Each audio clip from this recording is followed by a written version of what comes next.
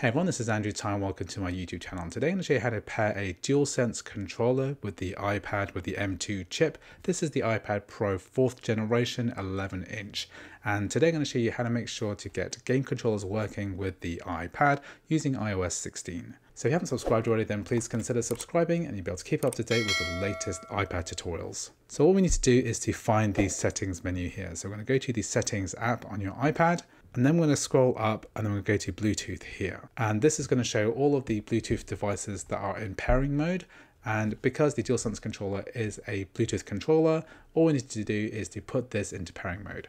So what we're going to do is to press the share button here first. I'm going to hold that down and then we're going to press the home button. I'm basically going to wait until this part starts flashing. So you can see that started to flash and as soon as that started flashing, then this DualSense wireless controller started appearing under other devices.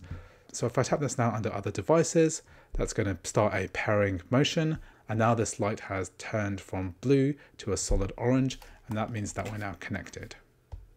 So what I'm going to do is to go to one of my game emulators. And this is PSP working great on iPad OS with the M2 chip and all the controller functions are working correctly. So now I hope you found this video useful. I've got lots of other tutorials like this on my YouTube channel. If you want to find out how to get game emulators working on iOS 16, then please make sure to follow the link in the description for my video tutorial. So anyway, thanks for watching and I'll see you in the next video.